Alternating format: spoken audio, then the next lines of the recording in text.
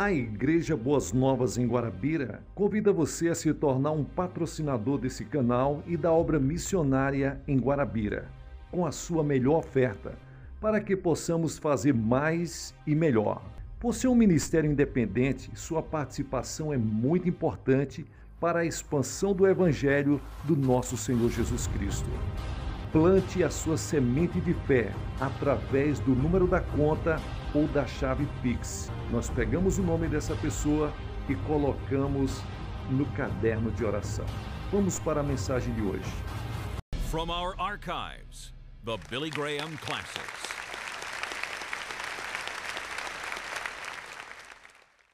Agora, essa noite, quero que vocês abram comigo em Gálatas. O livro de Gálatas, o quinto capítulo e versículo 11. O quinto capítulo. E eu, irmãos, este é o apóstolo Paulo escrevendo para a igreja na Galácia. E eu, irmãos, se ainda prego a circuncisão ou as obras, porque ainda sofro perseguição. Então, o escândalo da cruz cessou. Quero responder a pergunta esta noite: qual é o significado tanto da cruz quanto do escândalo da cruz? Em Isaías, o capítulo 53 e o terceiro versículo diz: Ele era desprezado e rejeitado dos homens, um homem de dores e experimentado no sofrimento, e nós escondemos dele os nossos rostos. Ele era desprezado e não fizemos dele caso algum. Agora, por que isto? A expressão o escândalo da cruz soa um tanto estranha para nós hoje, porque em cada igreja, suponho, seja protestante ou católica, vemos uma cruz. Temos cruzes gravadas em relevo em nossas Bíblias. Temos cruzes como ornamentos em volta do pescoço. É o emblema da arte e dos poetas, e isto é bom mas se tornou sentimental, com um certo interesse romântico na cruz. Mas é muito mais do que isto o seu significado. Ela realmente representa uma ofensa. É uma pedra de tropeço. Foi chamada de escândalo para os homens. Isaías, com visão profética, disse: Não havia beleza nele para que o desejássemos. O que há em Jesus Cristo que nós seríamos capazes de desejar? Quando nós olhamos para ele pendurado em uma cruz, sangrando e morrendo, e soldados romanos o matando. Paulo, erguendo-se após Cristo, descobriu que a cruz provocava o desprezo e desrespeitava o antagonismo das pessoas. Cristo nem sempre é atraente para o coração humano, mas quando Paulo ergueu Cristo e ele crucificado, muitos ficaram ofendidos e se afastaram com desprezo e raiva. Porque a cruz é uma ofensa, porque é uma pedra de tropeço, porque é um escândalo para os homens. Algumas traduções dizem escândalo em vez de ofensa. Bem, a primeira é que a cruz de Cristo é uma condenação para o mundo. A cruz de Cristo diz a cada um de nós: você é um pecador e precisa se arrepender. Não gostamos de ouvir isto. Gostamos de ouvir que somos bons, mas no fundo sabemos que pecamos contra Deus porque o pecado significa que estamos separados de Deus. Quebramos as leis de Deus. Falhamos em viver de acordo com os seus padrões, seus padrões morais. E então, na época da morte de Cristo, havia Herodes, o rei. E isto foi uma ofensa a ele, porque a cruz apontou para ele e disse: Herodes, você está vivendo em imoralidade. Ele estava vivendo com a esposa de seu irmão, e a cruz o condenou e disse: Isto é errado. E então havia Caifás. Caifás era um líder religioso. Ele era o sumo sacerdote e estava cheio de orgulho e frieza. Ele era astuto e a cruz o condenou porque ele estava condenando Jesus Cristo. E então Pilatos, o governador romano, a cruz o condenou porque ele estava cheio de medo. Ele era um covarde. Ele não defendia o que sabia ser certo. Ele sabia que Jesus era inocente. Sua esposa mandou uma mensagem a ele e disse: Não tenha nada a ver com este homem justo. Ele é um homem inocente. Ele não fez nada digno de morte. Mas Pilatos não suportou a multidão que o pressionava e dizia: Crucificam, crucificam, crucificam. E então a cruz condenou Pilatos. E então a cruz condena Judas. Judas que tinha estado com Jesus como um de seus discípulos e muito próximo de Jesus. E Jesus sabia o tempo todo que estava no coração de Judas mas ele o manteve ali no ministério. E há muitas pessoas na igreja assim. Eles me servem com os lábios, mas o coração deles está longe de mim, disse Jesus. E Judas serviu Jesus com os lábios, com tudo o que tinha. Ele era o tesoureiro da pequena igreja que Jesus tinha. Mas no fundo, ele nunca tinha realmente se comprometido com Cristo porque Judas era uma pessoa que cobiçava, ele queria dinheiro, ele queria prestígio, ele pensou que Jesus viria para um grande reino e que ele seria uma das principais pessoas naquele reino. Então, a cruz condenou os soldados. Eles apostaram por sua vestimenta. Mas o centurião, o capitão daqueles soldados que mataram Jesus, exclamou: Verdadeiramente esse homem era filho de Deus. E então o ladrão foi condenado também. Mas o ladrão se arrependeu no último minuto. Havia dois ladrões, duas cruzes. Um deles rejeitou Jesus Cristo e o outro o aceitou. E eles começaram a falar um com o outro, e eles começaram a condenar um ao outro, e um deles condenou Jesus, e este homem disse: que estava morrendo com ele na cruz. Ambos eram culpados, eles mereciam morrer. E esse ladrão disse: Nós merecemos morrer. Mas esse homem, no meio, na cruz do meio, o que ele fez para merecer está na cruz. Ele não merece isto. E então ele se virou para Jesus e disse: Senhor, quando o Senhor vier com o seu reino, lembra-te de mim. E Jesus disse: Hoje você estará comigo no paraíso. Foi tudo o que ele disse. Lembre-se de mim. Ele não teve tempo para se juntar a uma igreja. Ele não teve tempo para ser batizado. Ele não teve tempo para dar dinheiro. Ele não teve tempo para sair e fazer boas obras. Mas naquela cruz, Jesus disse: Hoje você estará comigo no paraíso. Quão rápido isso aconteceu porque ele aceitou a Jesus Cristo, ele acreditou, ele recebeu Cristo em seu coração bem ali, no último minuto naquela cruz. Quando Paulo pregou diante do governador Félix, a mensagem ardente da cruz condenou Félix, tanto que ele temeu e disse: Quando eu tiver uma ocasião mais conveniente, eu te chamarei. Quantos de nós, quando ouvimos o Evangelho proclamado e ouvimos sobre a morte de Jesus Cristo na cruz e ouvimos sobre nossos próprios pecados, trememos? Quando ouvimos sobre o inferno e a possibilidade do fato de que podemos ir para o julgamento e para o inferno, trememos por dentro. Mas ele nunca teve uma ocasião mais conveniente esse foi seu momento com Cristo, mas ele não o aproveitou. E então, até onde sabemos, ele estava perdido. E então Festo, que era um governador, disse: Paulo, você está louco quando fala sobre esse Jesus morrendo na cruz e ressuscitando dos mortos. E o rei Agripa disse: Quase, Paulo, você me convence a me tornar um cristão. Paulo falou sobre a cruz, ele falou sobre a ressurreição, ele falou sobre Jesus Cristo cumprindo as profecias do Antigo Testamento. Ele falou sobre a necessidade de arrependimento e fé e seguir a Jesus Cristo. E o rei Agripa, o grande rei, disse: Quase estás me persuadindo, quase estás me convencendo. E muitos de vocês essa noite estão quase persuadidos de que precisam fazer um novo compromisso de sua vida com Jesus Cristo. Vocês precisam se comprometer. Talvez vocês tenham feito isso quando criança.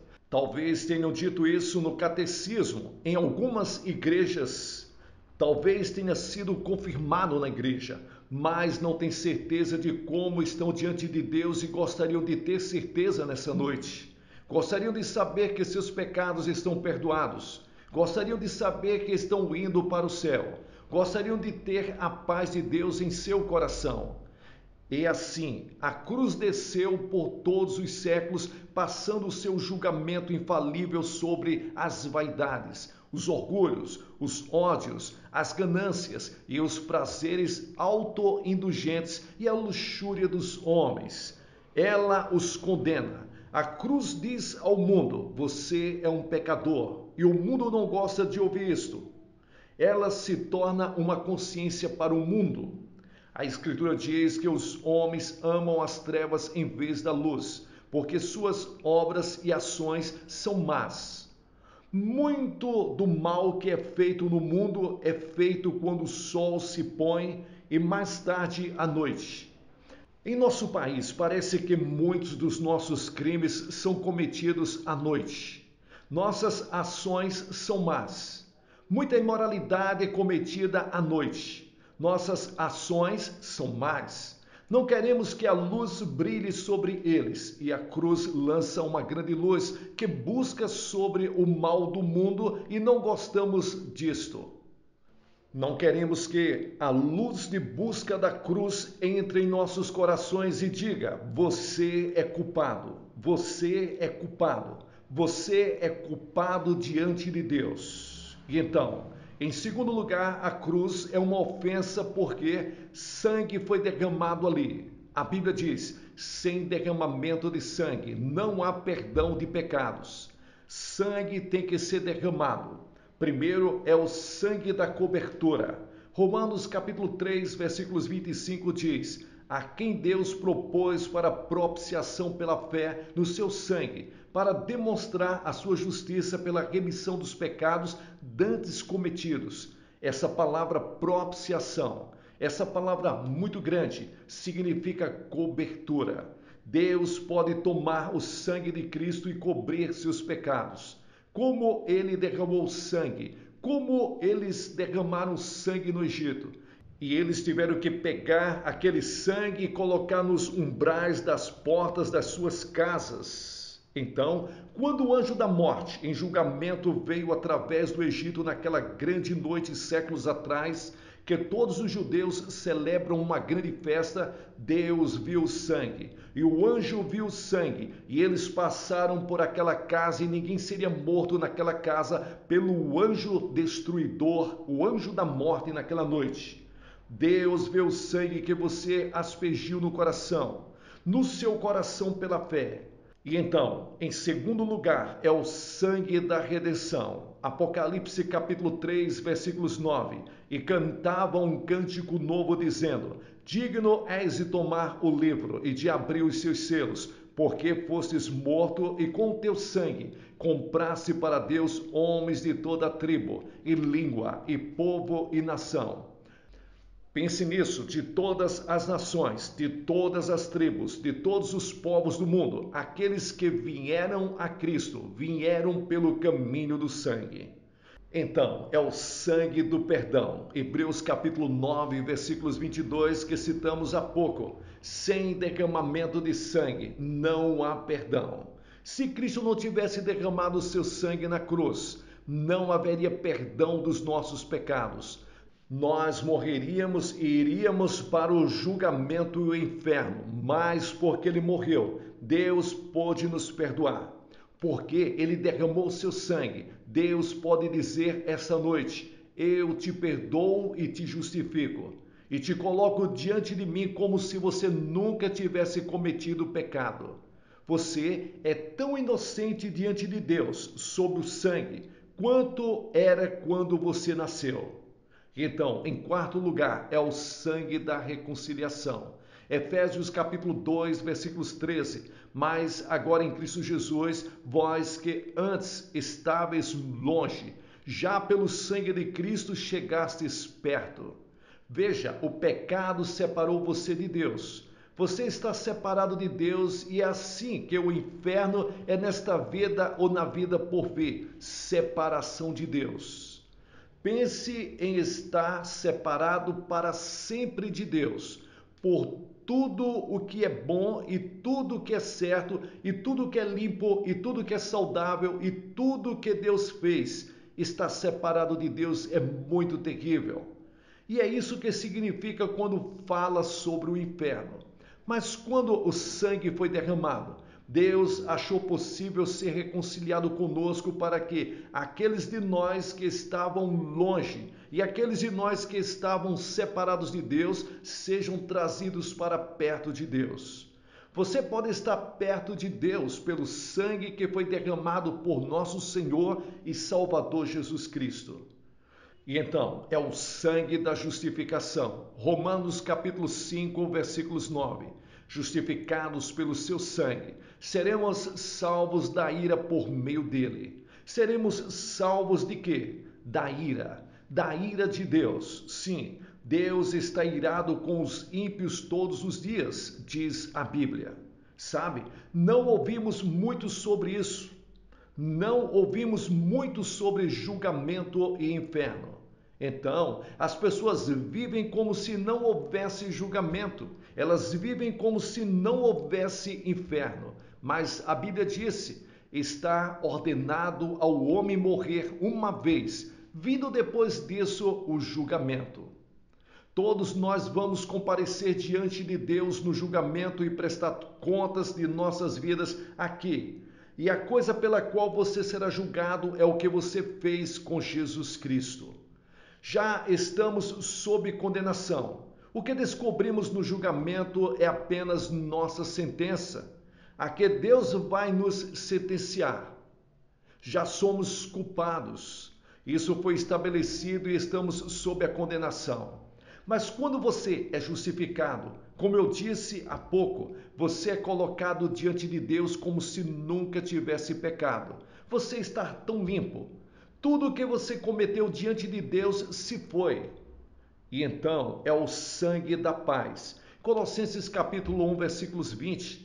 Temos paz pelo sangue da sua cruz. Você pode encontrar paz e esse é o único lugar no mundo em que encontraremos paz em nossos corações. O único que trará paz a esse nosso planeta é Jesus Cristo, o príncipe da paz ele trará paz. Mas enquanto isso, há guerras em seu coração, há guerras em sua família, há guerras em sua comunidade, há todos os tipos de guerras. Ele pode trazer a paz.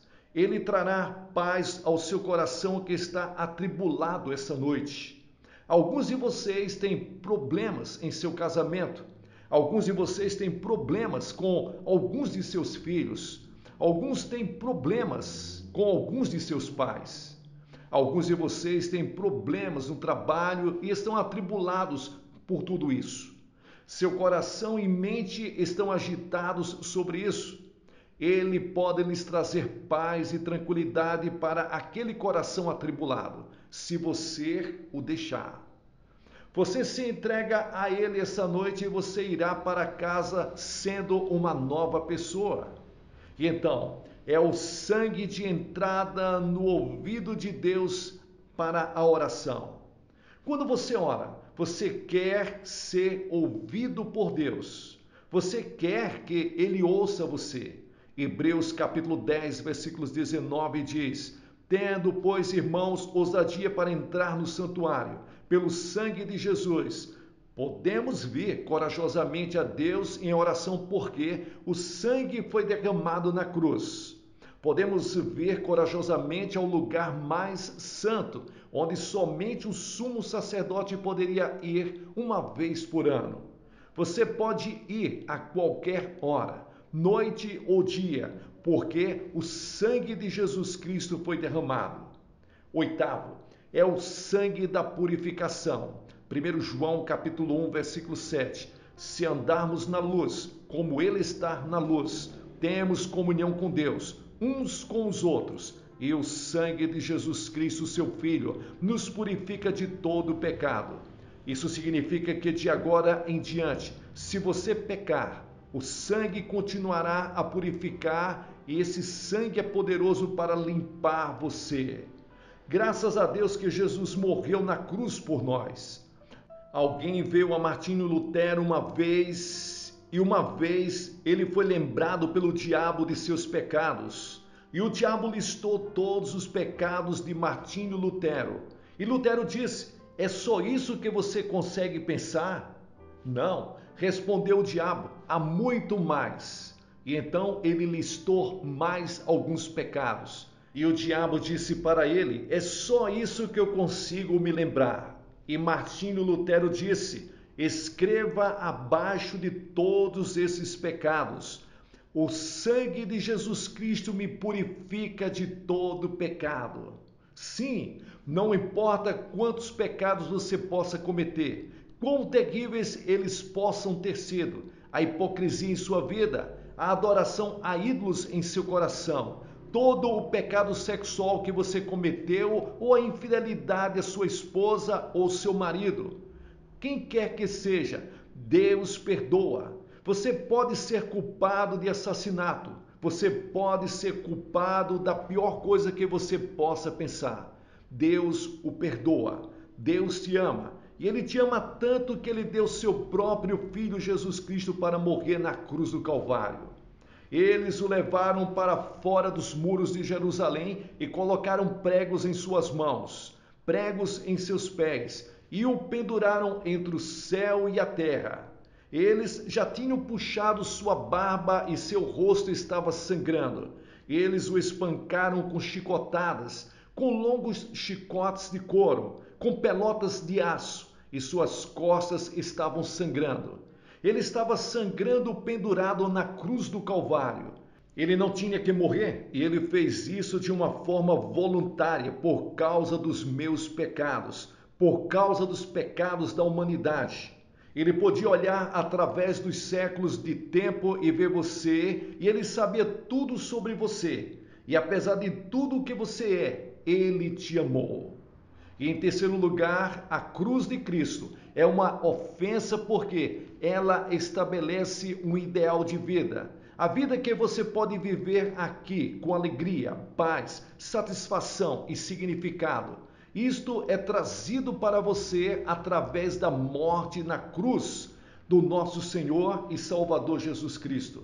Jesus disse: Se alguém quiser vir após mim, negue-se a si mesmo Tome a sua cruz e siga-me. Cristo exige que venhamos a viver uma vida de autocrucificação. Nós crucificamos os desejos egoístas que são errados. Nós crucificamos a luxúria, a ganância, o ódio, o ciúme e todas essas coisas que estão em todas as nossas vidas, nós crucificamos e Deus nos perdoa. Muitos ficam irritados com a restrição da vida como Cristo exige. Nós nos recusamos a desistir do que sabemos que a cruz nos condena. Jesus nos disse que devemos carregar a cruz e quando você voltar para a escola, quando voltar para casa, quando voltar para o seu trabalho, você deve tomar uma posição por Cristo, mesmo que eles possam rir de você e perseguir você. Essa é a sua cruz. Sua cruz não é uma doença que pode surgir. Sua cruz não é um acidente de automóvel que você pode sofrer. Sua cruz não é uma coisa ruim que pode acontecer em sua vida ou na vida de sua família. Sua cruz é se identificar com Cristo, tomar uma posição por Ele, amar pessoas que você normalmente não iria amar. Muitos de nós queremos as bênçãos do cristianismo sem compartilhar o trabalho e o sacrifício que está envolvido. A ofensa da cruz muitas vezes atinge um ponto de oposição. A Escritura diz que eles vão oferecer a você muitas coisas. Pense nisso. Eles vão muitas vezes trazer palavras que vão machucar você. A Escritura diz no versículo 17: Vocês serão levados perante governadores e reis por minha causa. Você vai sofrer perseguição. Todos os que vivem em piedade em Cristo Jesus sofrerão perseguição. Observem, todos, se vocês vierem a Cristo, é melhor contar com algumas perseguições. Se vocês não tiverem perseguição, é melhor verificar se você realmente de fato veio a Cristo. A crucificação tem as características da solidão.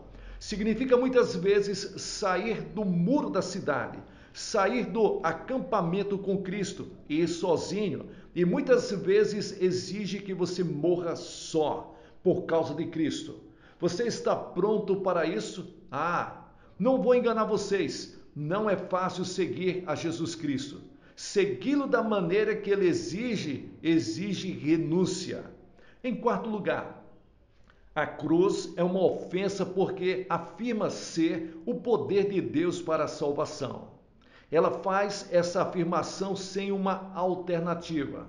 Jesus disse: Eu sou o caminho, a verdade e a vida. Ninguém vem ao Pai senão por mim. Ela exige de cada homem ou mulher como seu primeiro dever aceitar a Deus, a Jesus, entregar-se de corpo, alma e espírito. Posso pregar sobre qualquer assunto no mundo e não será uma ofensa a ninguém. Posso pregar sobre ritualismo, posso pregar sobre fazer boas obras, sobre melhoria social. Eu posso pregar todas essas coisas e as pessoas vão me aplaudir. Mas no momento em que eu chegar à cruz e falo sobre o sangue, há uma ofensa e isso é o que Paulo falou. A ofensa da cruz surge principalmente do fato de que a cruz condena todos os outros caminhos de salvação. Há apenas um caminho, disse Jesus, uma estrada, uma porta para o reino, e é pelo caminho da cruz. Estou pedindo a você esta noite para ver a Cristo Jesus, para deixar ele entrar em seu coração e mudar sua vida. Você diz, Billy, o que eu tenho que fazer? Primeiro, você deve se arrepender de seus pecados, e essa palavra arrepender-se significa mudar. Mudar a direção de sua vida, mudar sua atitude, mudar sua mente, deixar Cristo dominar sua vida. Você fará isto esta noite? Se você não fez isso e não tem certeza, não saia daqui até fazer esta escolha, porque pode ser algo que não tenha mais volta para você. Você vê quantas pessoas novas estão aqui esta noite? Você pode nunca mais voltar. Vou pedir que você se levante do seu assento e venha e fique em pé na frente dessa plataforma e diga quando estiver vindo: Eu me entrego sem reservas a Cristo. Quero que seu sangue me purifique. Quero saber que estou indo para o céu. Quero meus pecados perdoados. Quero uma nova vida. Quero o amor de Deus sua alegria, sua paz em meu coração. Quero ter a certeza absoluta de que, se eu morresse agora, estaria indo para o céu. Porque peço que você venha na frente. Cada pessoa que Jesus chamou no Novo Testamento, ele chamou publicamente. Havia uma razão para isso. Ele os chamou publicamente. Ele disse: Se você não estiver disposto a me reconhecer publicamente diante dos homens, eu não te reconhecerei diante do meu Pai que está nos céus. É muito importante que você venha e faça esse testemunho público, mesmo que isso signifique que as pessoas não vão entender o que você está fazendo. Levante-se e venha. Famílias inteiras podem vir. Casais jovens precisam vir. Eles precisam se reunir e começar sua vida com Cristo. Levante-se e venha. Vamos esperar por você agora mesmo.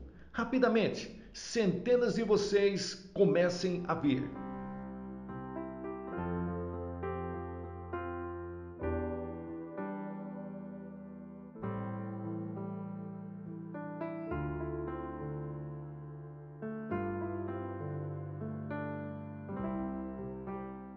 Pessoal, aqui é o pastor Gilson Soares, da Igreja Boas Novas, em Guarabira, na Paraíba, fazendo as locuções das mensagens do reverendo Billy Graham. Você que chegou até o final desse vídeo, dê um like para abençoar esse canal. Diga de onde você está nos acompanhando, deixe o seu testemunho. Você já recebeu Jesus Cristo no seu coração? Você já entregou sua vida para Jesus? O que isto mudou na sua vida?